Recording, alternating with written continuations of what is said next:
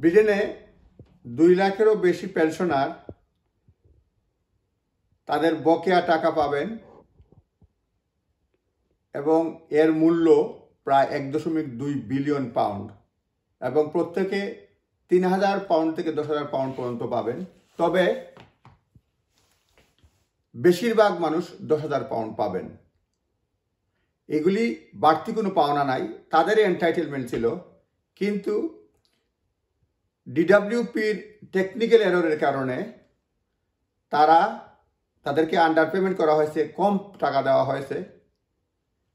উনিশশো পঁচাশি সাল থেকে এই ভুলটা চলে আসছিল এবং তাতে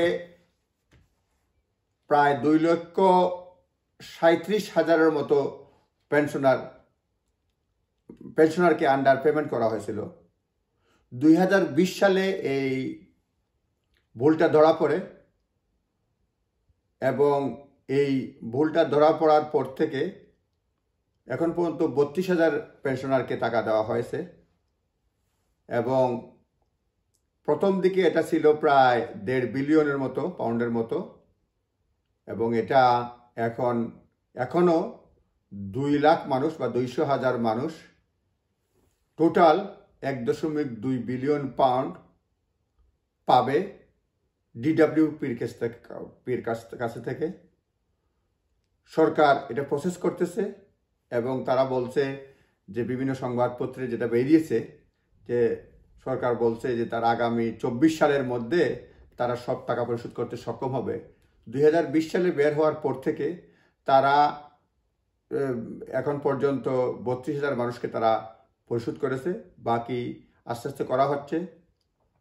বলছে এর মধ্যে প্রায় সাতানব্বই হাজার পেনশনার রয়েছে যারা মহিলা।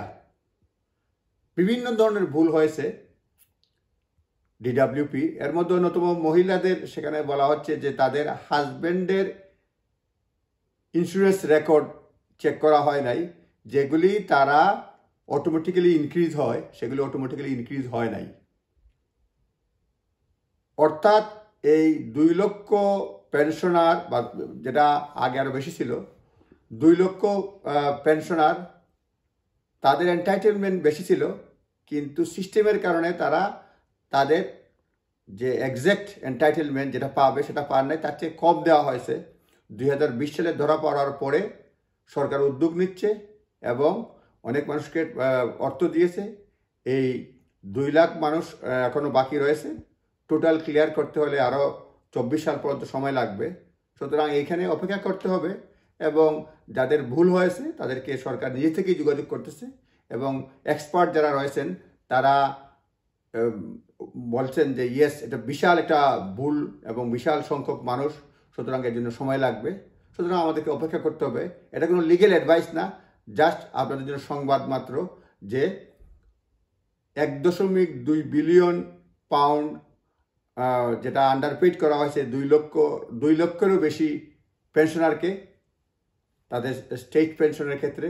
সুতরাং তারা বকেয়া অর্থ শিগগিরই পাবেন এবং আশা করি এই কস্ট অফ লিভিংয়ের ক্রাইসিসের কারণে তাদের এই অর্থ মানে জন ব্যক্তি বিশেষে তিন হাজার থেকে দশ হাজার পর্যন্ত পাবেন।